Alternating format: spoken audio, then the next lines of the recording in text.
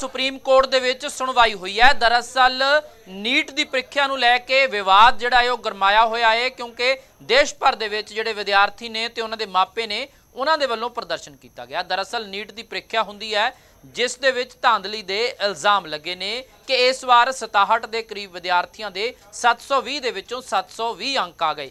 ਇਹੀ ਨਹੀਂ, ਜਿਹੜੇ ਟੌਪਰ ਸੀਗੇ, ਉਸ ਦੇ ਵਿੱਚੋਂ 6-7 ਲੋਕ ਜਿਹੜੇ ਨੇ ਇੱਕੋ ਹੀ ਸੈਂਟਰ ਦੇ ਨੇ। ਤਾਂ ਇਸ ਤੋਂ ਬਾਅਦ ਸੁਪਰੀਮ ਕੋਰਟ ਦੇ ਵਿੱਚ ਪਟੀਸ਼ਨ ਦਾਖਲ ਕੀਤੀ ਗਈ, ਜਿਸ ਤੇ ਅੱਜ ਸੁਣਵਾਈ ਹੋਈ ਹੈ। ਹਾਲਾਂਕਿ ਸੁਪਰੀਮ ਕੋਰਟ ਨੇ ਫਿਲਹਾਲ ਕਾਉਂਸਲਿੰਗ ਤੇ ਰੋਕ ਲਾਉਣ ਤੋਂ ਇਨਕਾਰ ਕਰ ਦਿੱਤਾ ਹੈ ਅਤੇ ਨਾਲ ਹੀ ਸੁਪਰੀਮ ਕੋਰਟ ਨੇ ਨੀਟ ਦੀ ਪ੍ਰੀਖਿਆ ਰੱਦ ਕਰਨ ਤੋਂ ਵੀ ਇਨਕਾਰ ਕੀਤਾ ਹੈ। ਹਾਲਾਂਕਿ ਜਿਸ ਏਜੰਸੀ ਦੇ ਵੱਲੋਂ ਐਨਟੀਏ ਦੇ ਵੱਲੋਂ ਇਹ ਪੇਪਰ ਲਿਆ ਗਿਆ ਸੀ, ਐਗਜ਼ਾਮ ਲਿਆ ਗਿਆ ਸੀ, ਉਸ ਨੂੰ ਨੋਟਿਸ ਜ਼ਰੂਰ ਜਾਰੀ ਕੀਤਾ ਗਿਆ। ਉਸ ਤੋਂ ਜਵਾਬ ਮੰਗਿਆ 8 ਜੁਲਾਈ ਨੂੰ ਹੁਣ ਇਸ ਤੇ ਸੁਣਵਾਈ ਹੋਣੀ ਹੈ। ਤਾਂ ਦੱਸ ਦਈਏ ਕਿ ਨੀਟ ਦੀ ਪ੍ਰੀਖਿਆ ਨੂੰ ਲੈ ਕੇ ਦੇਸ਼ ਭਰ ਦੇ ਵਿੱਚ ਹੋ ਹੱਲਾ ਹੋ ਰਿਹਾ ਹੈ ਜਿਹੜੇ ਵਿਦਿਆਰਥੀ ਨੇ ਤੇ ਉਹਨਾਂ ਦੇ ਮਾਪੇ ਨੇ, ਉਹਨਾਂ ਦੇ ਵੱਲੋਂ ਨੀਟ ਦੀ ਪ੍ਰੀਖਿਆ ਨੂੰ ਰੱਦ ਕਰਨ ਦੀ ਮੰਗ ਕੀਤੀ ਜਾ ਰਹੀ ਹੈ। ਇਸ ਦੇ ਵਿੱਚ ਦੋ ਤਿੰਨ ਪੁਆਇੰਟਸ ਨੇ।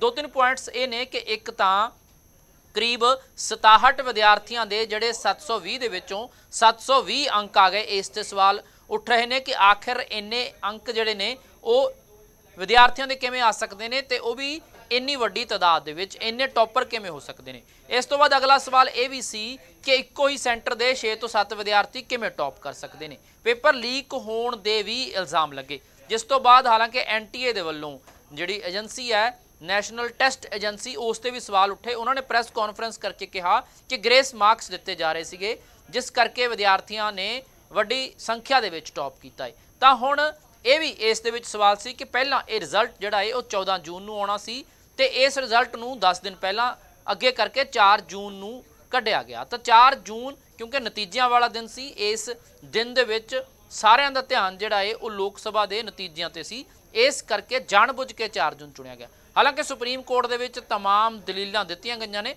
ਪਰ ਸੁਪਰੀਮ ਕੋਰਟ ਦੇ ਵੱਲੋਂ ਹੁਣ ਇਸ ਤੇ ਐਨਟੀਏ ਨੂੰ ਜਿਹੜੀ ਨੈਸ਼ਨਲ ਟੈਸਟਿੰਗ ਏਜੰਸੀ ਹੈ ਉਸ ਨੂੰ ਨੋਟਿਸ ਜਾਰੀ ਕਰਕੇ ਜਵਾਬ ਮੰਗਿਆ ਗਿਆ 8 ਜੁਲਾਈ ਨੂੰ ਇਸ ਤੇ ਅਗਲੀ ਸੁਣਵਾਈ ਹੋਣੀ ਹੈ ਪਰ ਫਿਲਹਾਲ ਜਿਹੜੀ ਕਾਉਂਸਲਿੰਗ ਹੈ ਉਹ ਜਾਰੀ ਰਹੇਗੀ ਸੁਪਰੀਮ ਕੋਰਟ ਦੇ ਵੱਲੋਂ ਕਾਉਂਸਲਿੰਗ ਤੇ ਰੋਕ ਲਾਉਣ ਤੋਂ ਇਨਕਾਰ ਕੀਤਾ ਗਿਆ। ਨਾਲ ਹੀ ਪ੍ਰੀਖਿਆ ਰੱਦ ਕਰਨ ਤੋਂ ਵੀ ਇੱਕ ਤਰ੍ਹਾਂ ਦੇ ਨਾਲ ਇਨਕਾਰ ਕਰ ਦਿੱਤਾ ਗਿਆ। ਪਰ ਜਿਹੜੇ ਵਿਦਿਆਰਥੀਆਂ ਦੇ ਮਾਪੇ ਸੀ ਤੇ ਵਿਦਿਆਰਥੀ ਸੀ ਉਹ 20000 ਸਿਗਨੇਚਰਾਂ ਵਾਲੀ ਜਿਹੜੀ ਹੈ ਐਪਲੀਕੇਸ਼ਨਸ ਉਹ ਸੁਪਰੀਮ ਕੋਰਟ ਪਹੁੰਚੀਆਂ, ਜਿਸ ਤੋਂ ਬਾਅਦ ਪਟੀਸ਼ਨ ਦਾਇਰ ਕੀਤੀ ਗਈ।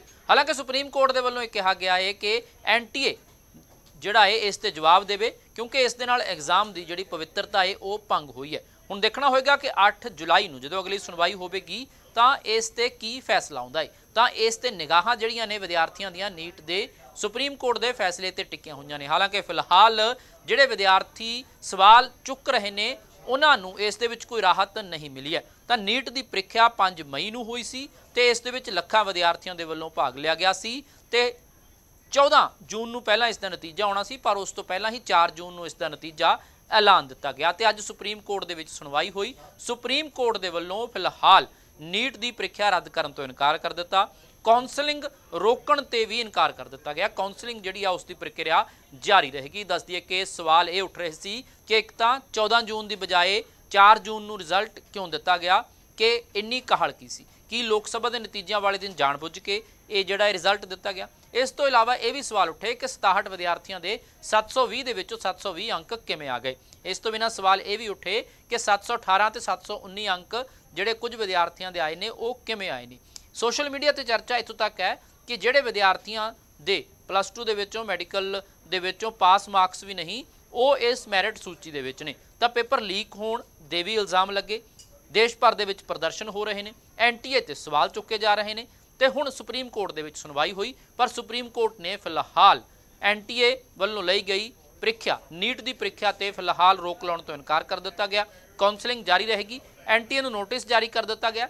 8 ਜੁਲਾਈ ਨੂੰ ਅਗਲੀ ਸੁਣਵਾਈ ਹੋਣੀ ਹੈ। ਦੇਖਣਾ ਹੋਏਗਾ ਐਨਟੀਏ ਕੀ ਜਵਾਬ ਦਾਖਲ ਕਰਦੀ ਹੈ, ਪਰ ਲੱਖਾਂ ਵਿਦਿਆਰਥੀਆਂ ਦਾ ਭਵਿੱਖ ਸੁਪਰੀਮ ਕੋਰਟ ਦੇ ਇਸ ਫੈਸਲੇ ਦੇ ਨਾਲ ਜੁੜਿਆ ਹੋਇਆ ਹੈ ਕਿ ਵਾਕਈ ਹੀ ਐਨਟੀਏ ਦੇ ਵੱਲੋਂ ਜਿਹੜੀ ਪ੍ਰੀਖਿਆ ਲਈ ਗਈ ਸੀ, ਨੀਟ ਦੀ ਪ੍ਰੀਖਿਆ, ਉਸ ਦੇ ਵਿੱਚ ਧਾਂਦਲੀ ਹੋਈ ਹੈ। ਕੋਈ ਪੇਪਰ ਲੀਕ ਹੋਇਆ ਏ ਜਾਂ ਫਿਰ ਇਹ ਸਿਰਫ ਝੂਠੇ ਇਲਜ਼ਾਮ ਨੇ। ਦੇਖਣਾ ਹੋਏਗਾ, ਜਾਂਚ ਦੀ ਮੰਗ ਜਿਹੜੀ ਆ, ਉਹ ਕੀਤੀ ਜਾ ਰਹੀ ਹੈ। ਤਾਂ ਸੁਪਰੀਮ ਕੋਰਟ ਦੇ ਵੱਲੋਂ ਫਿਲਹਾਲ ਐਨਟੀਏ ਵੱਲੋਂ ਨੀਟ ਦੀ ਪ੍ਰੀਖਿਆ ਜਿਹੜੀ ਲਈ ਗਈ ਸੀ, ਉਸ ਤੇ ਰੋਕ ਲਾਉਣ ਤੋਂ ਇਨਕਾਰ ਕਰ ਦਿੱਤਾ ਗਿਆ ਹੈ ਤੇ ਅਗਲੀ ਸੁਣਵਾਈ 8 ਜੁਲਾਈ ਨੂੰ ਹੋਣੀ ਹੈ ਤੇ ਉਸ ਤੋਂ ਬਾਅਦ ਜਿਹੜੀ ਪ੍ਰਕਿਰਿਆ ਹੈ ਕਾਉਂਸਲਿੰਗ ਦੀ ਪ੍ਰਕਿਰਿਆ, ਉਹ ਜਾਰੀ ਰਹੇਗੀ।